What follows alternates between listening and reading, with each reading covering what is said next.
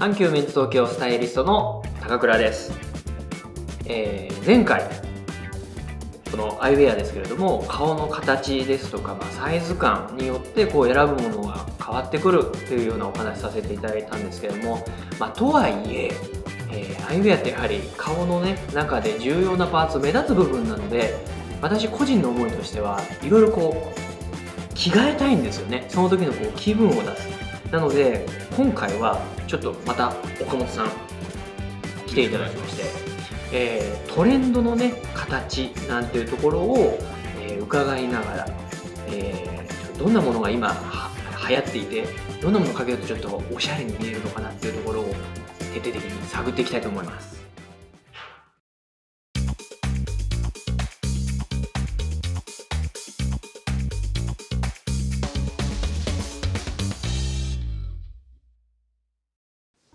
では岡本さん早速なんですけれども、えー今のこのトレンドのまあ流れからなんですけれどもちょっとお伺いできたらと思うんですが。はい。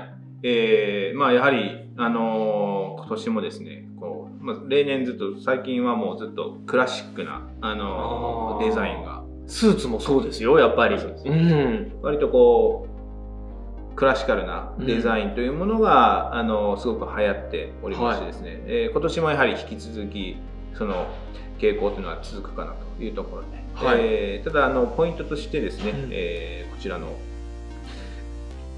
確か、まあ、クラウンパウンドと言われるような、クラウンパウンド？初めて聞きますけれどもそれは何のことを言ってるんですか、はい。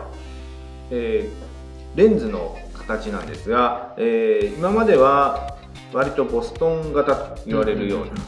少し丸みの強い形のものが多かったです、うんえーこちらクラウンパンドというのは割とこうフレンチヴィンテージ、まあ、フランスのヴィンテージのメガネなんかに、あの多く使われているデザインになってまして、うん。えーちょうど上のラインが少しストレートにあ本当ですね。少しここがこうシュッとなっているイメージですね。実は今私がかけているメガネが、なるほど。えーそういった今クラウンパンうんと言われる、これが割と今年は来るんじゃないかな。とへー言われるような、柔らかい印象というよりかちょっとまあ若干シャープなイメージももありつつ、はい、ただ丸みのある形だったりとか、うん。まあ、トレンド自体はクラシカルなトレンドは変わらずというような、んんえーこちらも一つ大注目の、えー形でございます。うんなるほど。要チェックですね。よろしくどうぞはい。続いては？はい。続きましては、えーこちらですね、こえーちょっとこうクリア系のカラーでございます。えー、クリア系、はい。あのいわゆるあのリムレスとはまた違いますもんまねた違いまして、はい、こちらはどちらかというとあのプラスチックの生地。はい。なんかで、えーよく使われているタイプなんですが、えーまあ、今こちらはクリアのフレームではあるんですけれどもこれ以外にもあのブラウンだったりとかっていうような、他のカラーなんかも展開はあるんですけれども、えーちょっとこう透け感のあるといいますか。ああなるほど。はい、色がこう黒で、えーとかあうん。の茶色っていう感じよりかは、やや透けて見えるような、うん。こういったあのクリア系のカラうーこれは形というかカラーですね。えーこれもあの押さえておきたいちょっとこうポイントの一つ。なるほど。なのでこうブラックですとかブラウンみたいなこうグッとこう印象を寄せるよりは少しこう柔らかなイメージで見えたり、は外とか出てると結構少しクリアな感覚強く出るんですかね。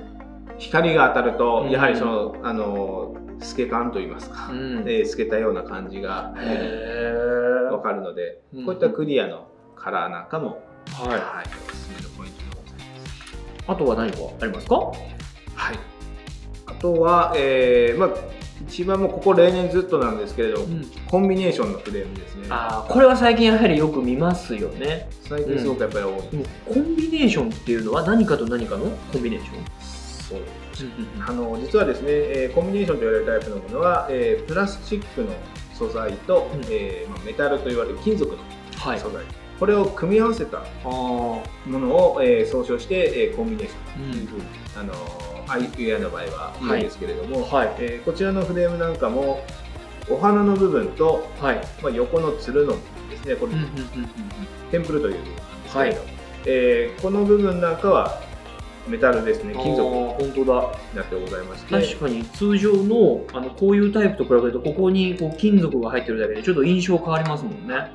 この形はすごくあの合わせやすい、えーデザインだとございましてあまりこうプラスチックのフレーム全体にプラスチックのタイプのものだとややこうカジュアルな印象になったり、はい、えーまあ、割とスーツですとかうん、に合わせた時にややちょっと重たい感じにちょっとなりがちなんですが、はい。こういうコンビネーションのタイプのものっていうのは、はまあ、合わせやすいということでやはり、うん。まあ、ビジネスシーンでも使いやすいということで、うん。割とこういうコンビネーションっていうのはすごく人気の高い。うん。クラウンパウンドですよそうねですね。もう大注目の形でございます。どうかな、やはり高倉さんは卵型うんすごくお似合い。そうですか。ちょっとやっぱりトレンド感出てます？フレンチヴィンテージ出てますか？続いてはこのクリア、これも今年、まあ、あの、まあ、トレンドになっている、ちょっとクリア系の、まだ全然多分テイストといいます。か、雰囲気が、うんうんうんうん先ほどのモデルとは。うん。ですけど、どうです？柔らかい印象が少し出てるのかな？顔のインパクトも少しちょっとメガネにね、うん。あのつけたいというお客さんのもあるんですけど、はい。これだとちょっとインパクトも出ますもんね。はい。うん。えーこちらもコンビネーションのタイプのものなんですけれども、先ほどと、えー違いがうんやはり色味がしっかりついておりまして、えーうん。これ今フロントのカラーがこれネイビはい。ーですよね。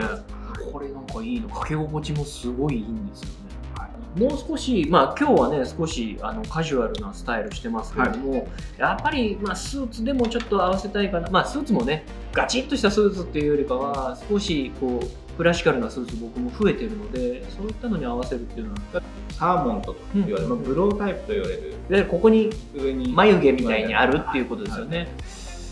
確かにそのクラシカルなそうです。あのやはがすごく出りるのかな？このクラシカルな人気の、まあえー最近の流行うん。というところで、やはりこういったあのブロータイプの,、うん。あのフレームも多くなっておりまして。まあかけた中だとやっぱりそのクラウンバウンドとコンビネーションかな。え正直どう思います？これでやっぱりスーツはどうですか？まあ僕はね職業柄どちらかというとスーツっても少しねあの柔らかいイメージのスーツの方が多かったりするんですけれども。そうですね。まああの実際そうですね。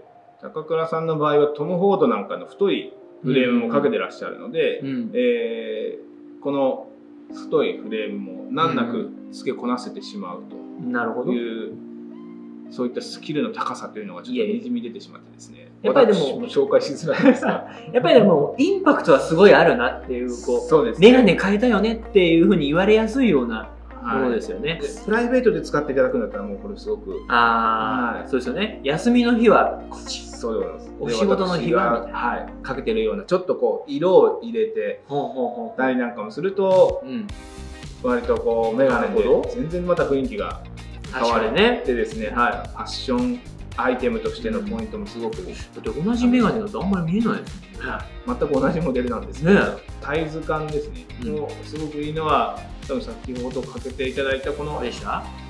コンビネーションなんですが。これね、よく見るとその作りもすごいんですよね。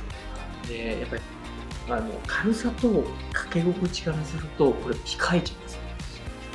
これでちょっと裏側のカラーも、あの確認していただきたいんですが、全然見えますかね。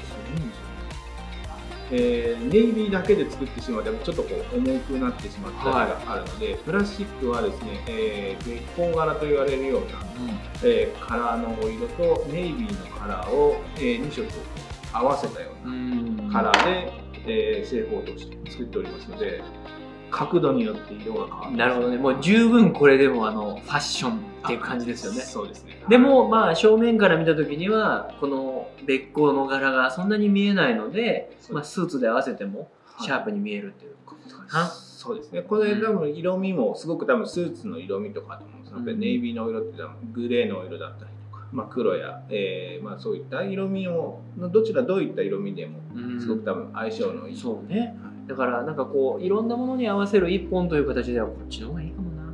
そうでなおかつまあ今のメガネともちょっと雰囲気もああ、確かに雰囲気変えること大事です、大事です。なるほどね。いかがでしたでしょうか？えー、アイウェアのトレンドを今回はね、ご紹介したんですけれども、結局、買っちゃいました。はい。あ。の、やっぱりこうやってね、接客受けると全然違うなと思いますし、まあ、どうしてもこうトレンドの形とかね、自分はこれが似合うんじゃないかっていうこう先入観があることも多いと思うんですよ。で、まあ、その時にね、ぜひこうスタッフの方とこういろいろこう話しながら、まあ、あとは先ほどね大事だったのがどんなシーンで、え着用するかもうシーン別でねこうたくさんこうかけていただくのもいいんですけれども、まあ、その日の気分だったりそれとも、まあ、やはりこれをずっとこう持ち続ける一本、まあ、いろんなニーズがあると思います、まあ、そこはねそのニーズ全部あのスタッフの方々が汲み取ってくれると思いますので、まあ、どういうシーンで使いたいのかどういう TPO で使いたいのかお洋服と一緒ですよね。そんなところを加味しながらさらに、まあ、サイズ感と、まあ、お顔のバランスなんていうところも全てこう複合して、えー、アイウェアというのは選んでいただくとよりご自身が納得できるものが選べると、思います。えーそうですね。ぜひあのアイウェアの探し方というところもあのトレンドであったりですとか、あのお顔の輪郭だったりいうようないろいろこうポイントというのをあの今回ちょっとお話しさせていただいてるんですが、えーぜひあのアイウェアっていうのはご自身に一人でこう選んだりするとどうしてもあの偏りがちになってしまったりということもございますので、えーまあバランス感っていうのはですねなかなかやはりあのアイウェアの売り場スタッフにぜひあの聞いていただいた方がよりちょっとこうお客様に合ったものをご提案できるのではないかなと思いますので、はい、えーぜひあのスタッフまでお気軽にお声掛けいただければと思います。